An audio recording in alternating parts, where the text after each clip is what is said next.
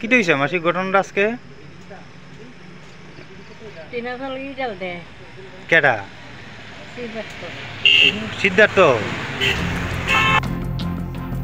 বৃদ্ধ মহিলার ঘরে ইটের টুকরো দিয়ে ঢিল ছুঁড়ে ভয়ভীতি সহ প্রাণে মারার হুমকির অভিযোগ উঠল শেখেরকোট এলাকার জাগাত দালাল ও চিটিংবাজ নামে পরিচিত সিদ্ধার্থ রায় চৌধুরী নামে এক যুবকের বিরুদ্ধে। উনি নাকি আবার বর্তমান শাসক দলের বড় ক্যাডার ক্যাডার হওয়ার সুবাদে কেউ নাকি উনাকে কিছুই করতে পারেন না বলে অভিযোগ। থানার পুলিশ বাবুরাও নাকি হিমশিম খেয়ে যায় ওনার নাম শুনলে।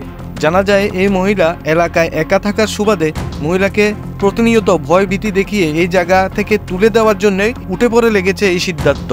স্থানীয় থানায় ও পঞ্চায়েতে এই বিষয়টি নিয়ে এই বৃদ্ধ মহিলা বহুবার অভিযোগ জানানোর পরেও কোনো কিচ্ছু না হওয়ায় অবশেষে সংবাদ মাধ্যমের দ্বারস্থ হয়েছেন এই বিদ্যা এই হচ্ছে রাজ্যের সুশাসনের নমুনা ও রাজ্যের বাহুবলী পুলিশের অবস্থা। একবার দেখে নেব কি বলছেন এই অসহায় বিদ্যা মহিলা। কি হয়েছে মাসিক ঘটনাটা আজকে? কেটা সিদ্ধার্থ। আচ্ছা এটা কদিন দিলা এইভাবে ইয়ে করে? আপনি কি আপনার বাড়িতে একলা থাকে? হ্যাঁ একলা। আচ্ছা তার বাড়ি কি ইয়ে, তার বাড়ি কোন জায়গাতে? আমার আচ্ছা আচ্ছা। হে এমনিতে কি করে?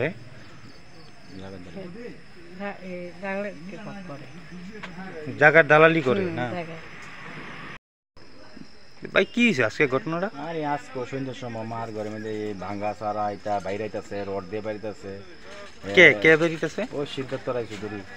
এরপরে তোমার এই রাত্রে কালকে রাত্রে একটা দেড়টার সময় দুইটা অব্দি যে বাইরে বাইরে করছে মা ঘুমাইতেছে না মা প্রেশারে রুগী যন্ত্রণা মা থাকতে পারতেছে না। হে এমনিতে কি করে? হ্যাঁ ওই জায়গা করে তোমার এই কাজগুলো করে এবারে মানুষের লাগে বাক্য করে আচ্ছা। চিটিংবাজি করে। আচ্ছা এর আচ্ছা। কাজ দুইটা এই চিটিংবাজি করে মানুষের টাকা পয়সা লো গরিব মানুষ সারাক্ষণ বইয়া থাকে। এই বিষয়টা আজকে পুলিশ আইসেনি আজকে পুলিশ আইসে দেখে দেখে গেছে দেখে গেছে।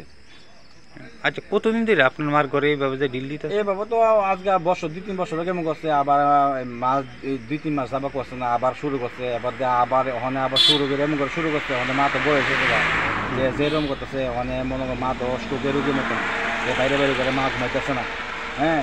ওখানে আমরা চিন্তা ভাবনা যে কিতা করাম? সে তো রাত্রেবেলা বাইরে এরকম করে ওখানে মানুষের মাথার কথা বুঝতে হয় না হ্যাঁ? মানুষের মাথার কোন সময় দুর্ঘটনা একটা হইয়া জায়গা এটা কেউ কিছু কইয়া কোনো মাসে কোনো মানুষ কইতে পারতো না কোন সময় কিতা হইয়া জায়গা আচ্ছা এই মানে এই ঘটনাটা মানে স্থানীয় এলাকাবাসীরা সবাই জানে সবাই জানে পঞ্চায়েত জানে সবাই জানে এই ওই এই এলাকায় মেম্বার প্রধান প্রধান ক্লাব টাব সবাই জানে এই এলাকার মানুষ জানে এই যখন পুলিশ যখন বাড়িতে আইছিল হ্যাঁ আসিল নি বাড়িতে? হ্যাঁ তো বাড়িতে নাই বাইক গেছে বাড়িতে নাই। আচ্ছা এই বিষয়টা নিয়ে এখন আপনারা কি চান? আমি চাইতেছি যে এরকম এ করতেছে কোন সময় কিতা থাকে একটা সাজা পুলিশের সাজা একটা না দিলে কি হয়? এটা তো আমরা তো সাজা যেতাম না। মানে পুলিশ এটা কি করে? কি কি সিদ্ধান্ত লয়? এটা পুলিশ কোথাও আমরা কোথাও না। আমরা তো অনেকবার পুলিশে অনেক বছর ধরে কোথাও কিন্তু কোনো কিছু কাজ হইতেছে না। আমার মা একটা এমন মানুষ হ্যাঁ আমার ভাই একটা ব্যবস্থা ওখানে এটা কি হয়ে যায় মানে তার বিরুদ্ধে পুলিশ কোনো অ্যাকশন নিতেছে না? অ্যাকশন তো নিতেছে না কোনো বুঝতে পারতেছে ব্যাপারটা কি হইতেছে। মানে আমরা যদি কোনো অ্যাকশন লই এলাই পরে তো পুলিশে তোমরা কে আমরা না জেগে অ্যাকশন লইছো। আপনার- মাথা ঠিক থাকে না কোন সময় কিটা হয়ে যায় দুর্ঘটনা একটা তো এই- জায়গাটার নাম কি? এটা শেখের চা বাগান। আপনার নাম? আমার নাম বিজয় রায়চৌধুরী।